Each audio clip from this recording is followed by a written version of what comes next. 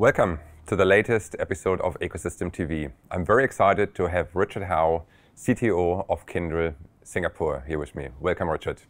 Thanks, Uli. Great to see you again. Richard, you can look back on 20 plus years of leadership roles in business and technology uh, from assignments around the world. What excited you about specifically Singapore as your newest venture? Look, uh, Singapore is a place that I've, I've really wanted to work for, for many years. Um, Singapore is a standout in terms of the uh, innovation and the environment that's been set up here, you know, particularly by the government. But you know, so many of the major enterprises are using this as a hub to really innovate. When we look back at your career, you, you know you worked in South Africa, in the UK, in Australia. So this is your the fourth continent, you know, that, that you moved to. Why Singapore? You know, what was what nudged you to, to try something new and to decide on Singapore? Yeah, so I've been following. Uh, I've been following uh, Singapore for a while, particularly uh, in terms of fintech, um, and I started to hear about what uh, what was happening here, particularly with uh, MAS uh, and the drive here to you know really generate a lot of new fintech products and so forth. And so that that was what twigged my initial interest. so I started to to talk to you know the folks inside Kyndryl uh, about you know whether there'd be opportunities here. And I've been a technologist my, my whole life. I've, I've uh, done roles, uh, engineering roles, architecture roles, and, and more recently CTO roles. Uh, and, and, to me, it seemed like it would be a great opportunity to come and, and work with clients here and really focus on technical innovation. Thank you, Richard. Can you um, you talk about Kyndryl? And uh, obviously, Kyndryl as a as a business is relatively new. Can you do a quick uh, elevator pitch on you know what what is yeah, what's yeah, about? Sure, sure. So yeah, Kyndryl uh, was IBM. We were the services arm of IBM. Uh, back in November last year, uh, we became an independent company. It's been an extremely exciting time for us. Um, we're roughly ninety thousand people globally, and we're growing.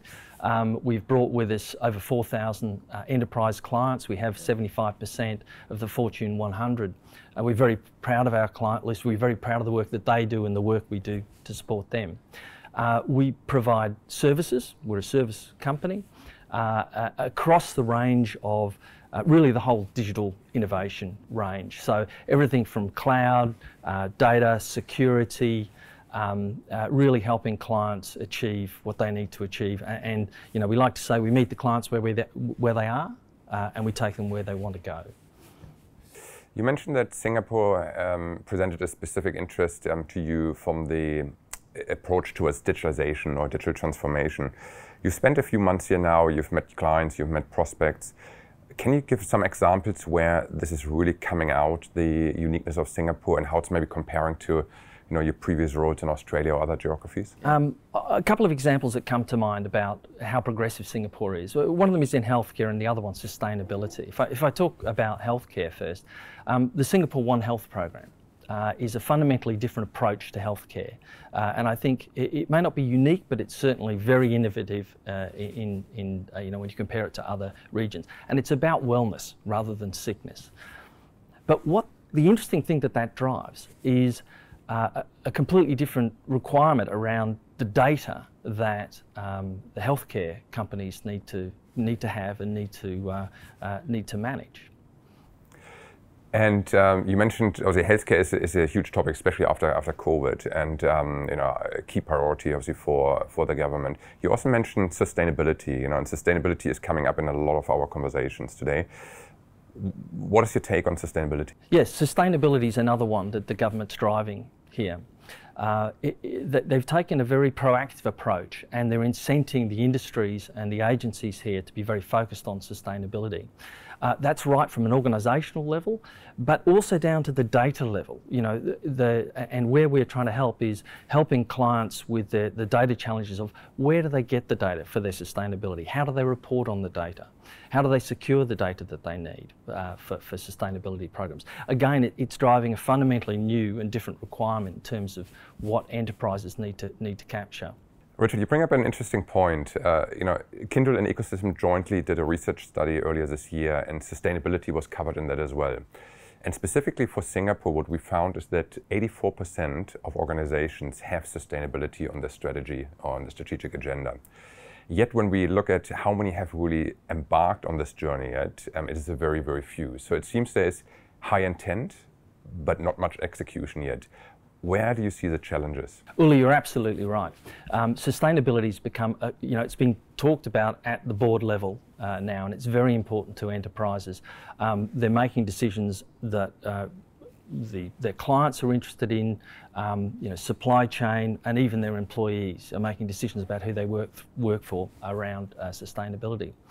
Uh, it's still an emerging area for most companies. They have they've normally set up their organisation, but the things they're struggling with is how do they get the data?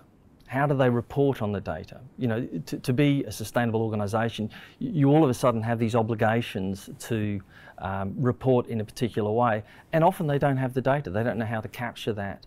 And so, where we're helping them is how do you get the data framework right? um, that you can collect the data, manage the data, and then report on the data. So I think a lot of these companies are still very much on that emerging um, journey about how do they get from the boardroom idea and the policy idea to the tangible execution part of the sustainability. Your healthcare um, example, as well as sustainability, it seems to be coming down to data. You know, but then um, every organization that we talk to seems to be struggling with, you know, managing the data, really driving value out of that. Can you share an example or you know, maybe an organization that you've worked with where they really had a, you know, a, a good approach or an entry point on how to tackle this challenge? Yeah, yeah. Thanks, Uli. So, yes, the I'll use a healthcare example. Uh, we're working with uh, clients here in the healthcare industry uh, around the data uh, challenge, and, and, I come back to One Health uh, as an example, and the entry point, I think, is, you know, particularly with healthcare data where it's so critical, you start by looking at uh, protecting the data.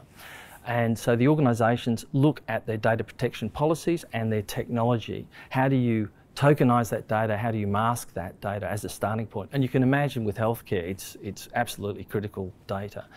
Then they look at how do they actually assemble the data because most of these organisations have you know vast you know data sources inside their organisations, but they're not assembled in a way. So then looking at how you create data lakes with uh, by bringing the data into a central, and most clients are, are choosing cloud uh, to, to, do that. Some great, um, you know, data lake products uh, that we're helping clients with there. So data protection, then you know, assembling the data, and then the next thing is, is actually getting the insights out. And so they then start to focus on AI, ML, data science to really you know, generate what they need to out of that. And when you think about the One Health program, where you're going from uh, trying to get insights about people's sickness to trying to get insights about people's wellness, uh, it fundamentally is a different way of, of um, you know, tackling the data problem and the different kind of data science and data analytics that you actually need. So we're helping clients work through that journey of how do you, how do you assemble those things to come up with the insights that you need to drive a wellness program. So I've been following data management for a long time. Actually, I started as an analyst, um, you know, covering that space very closely. Uh, but at that time, it was all about reporting and driving value out of the data that was an output from, from our operation.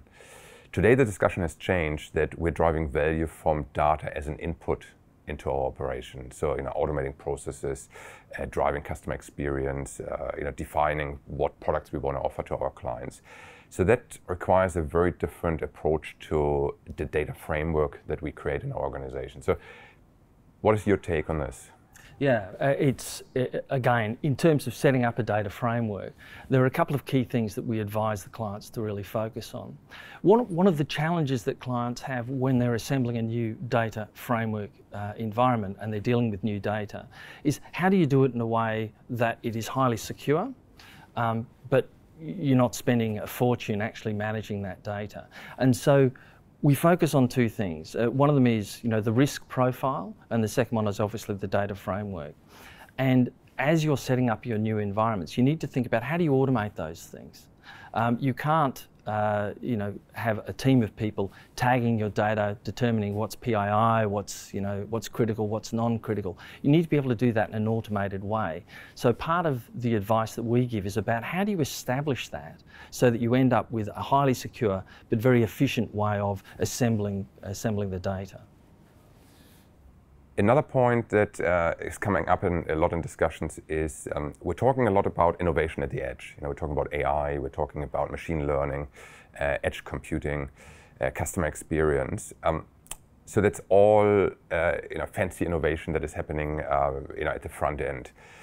But when we look at our research findings and we ask organizations, what is your number one priority for technology for 2022?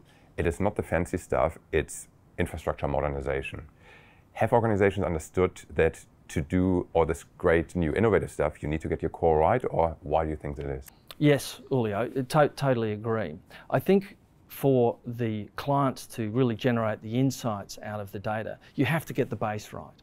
Uh, and that's why so many clients are actually focused on building new platforms, moving data out of their old environments, moving off the old infrastructure, typically into cloud environments, so that they can make that layer invisible. And then that allows the businesses to focus on what the business is doing, and that is generating insights from the data. But you have to have a solid base that is secured, well automated, uh, and, and well controlled.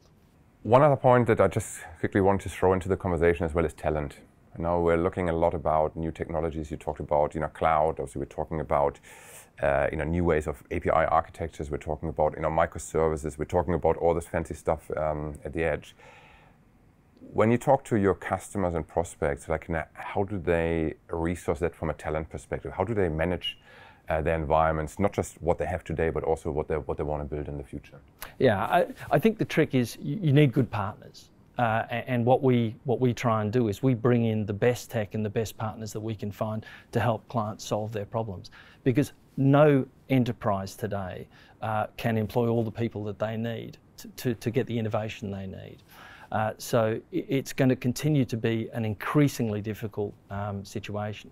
And what we do with, with, our, uh, with our staff is we're very much focused on you know, continuing to develop the talent and the skills within the organisation as well as, as hiring so that we can help the clients and then we partner where we need to. But I think partnership uh, is the key if you want to bring the best tech together. No, thank you, Richard. I think it's uh, very exciting times ahead. Um, when we talk about talent, just one uh, personal question. Um, I know that you've got uh, a couple of sons, um, you know, left left left behind in in, in Australia.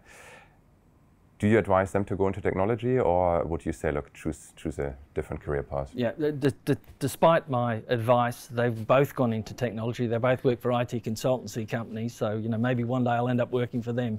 Who knows? But uh, yeah, so they they uh, stayed behind in Australia, and uh, they seem to be very excited about me coming to Singapore, almost as excited as as I was. And it may be because they're still living in the house. So uh, yeah. Oh, I'm pretty sure they're having a good time. Yeah. Look, thank you very much for joining us here on Ecosystm TV, and um, all the best for your new role at uh, Kyndryl as a CTO here in Singapore. Thank you. Great. Thanks so much, Uli.